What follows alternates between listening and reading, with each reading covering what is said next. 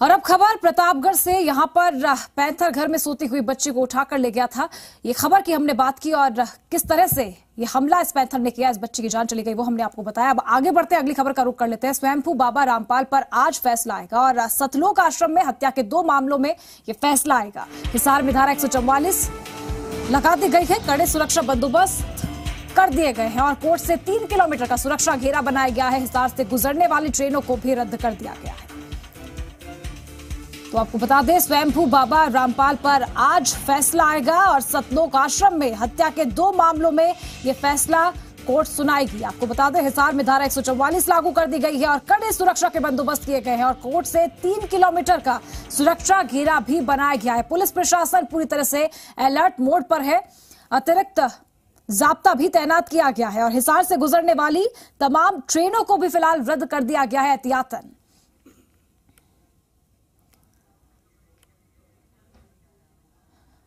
तो आपको बताते हैं रामपाल पर आखिर क्या कुछ आरोप है? 2006 में स्वामी दयानंद पर संत रामपाल ने एक बयान दिया था। रामपाल और आर्य समाज के समर्थकों के बीच सतलोक आश्रम के बाहर हिंसक झड़प हुई थी। झड़प में एक व्यक्ति की मौत हो गई थी। और आपको बता दें, महिला की हत्या के आरोप में रामपाल 22 महीने तक जेल में बंद रहा था। सरकार ने करौंधा आश्रम को अपने कब्जे में लिया।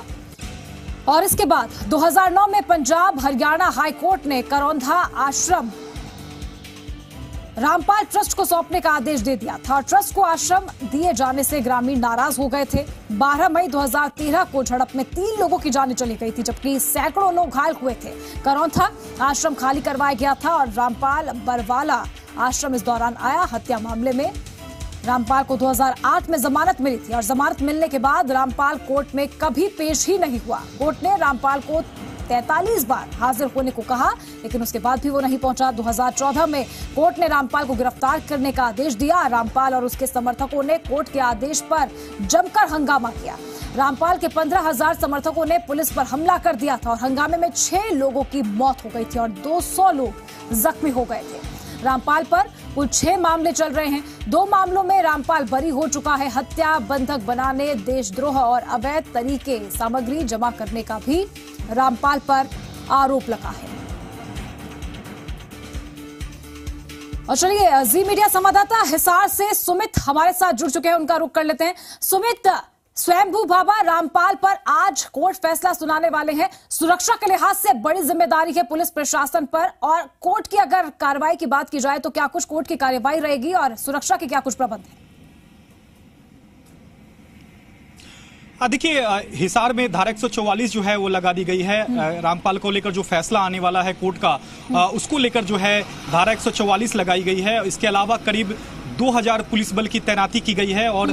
पाँच कंपनियाँ जो हैं वो पैरामिलिट्री फोर्स की लगाई गई हैं। इसके अलावा बारह जो है एसपी को डिप्यूट किया गया है। इसके अलावा कई ड्यूटी मजिस्ट्रेट को भी सुरक्षा की चौकसी के लिए जो है वो उन्हें तैनात किया गया है।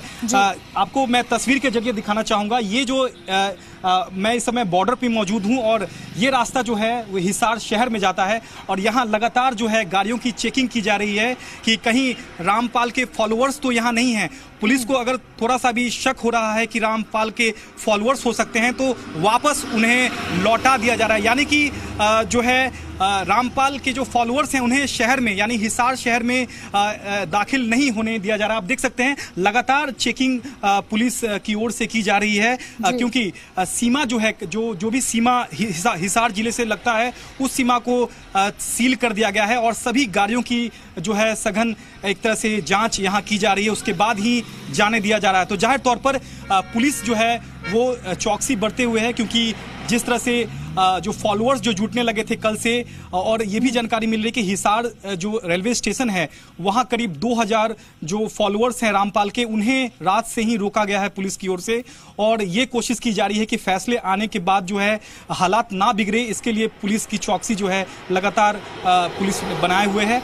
और साढ़े दस जो फैसले की जो जानकारी है साढ़े दस बजे जज बिल्कुल उसके बाद दो हज़ार चौदह की तस्वीरें जब आदेश दिया गया था रामपाल को गिरफ़्तार करने का कोर्ट की ओर से वो तस्वीर एक बार फिर से सामने ना आए। इसी के मद्देनजर सुरक्षा के पुख्ता बंदोबस्त किए गए। शुक्रिया फ़िलहाल तमाम जानकारी के लिए आपका।